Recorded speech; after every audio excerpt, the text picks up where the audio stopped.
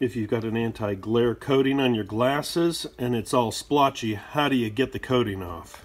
If you look closely at the lens, you can just see it's peeling up in some areas. To remove the coating, you don't have to pull the lenses out. If you can, it does make it easier. I soak the lenses in isopropyl alcohol. I just toss it in, let it soak. Then I use my fingernail to scrape off the coating. Just let it soak completely submersed. After about five minutes, it's starting to come off. On the other lens, you can start to see it come off a little more. We'll just keep soaking it. Using a plastic scraper like this can also remove the coating. It's been soaking in the alcohol for about 20 minutes. I'll just keep soaking it and scraping Once it. it starts to soften, you can really see it start to come off.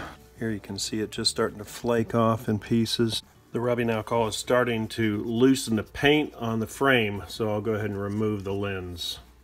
I'll just soak both of the lenses in here. The lenses have been soaking for a couple hours. Now when we scrape, it's really starting to come off now. Now I can see a little bit of the coating left on there, but not much. I've taken this coating off before, and this time getting this coating off is a real challenge. I soaked it overnight, and I'm still scraping. This overnight soak, I think, finally got it off. Some people have talked about mixing salt into the rubbing alcohol. I tried that, but I didn't see much of a difference.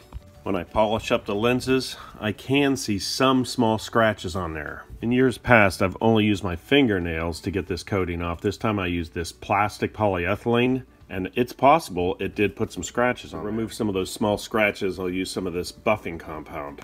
I'll just work it right into the lens.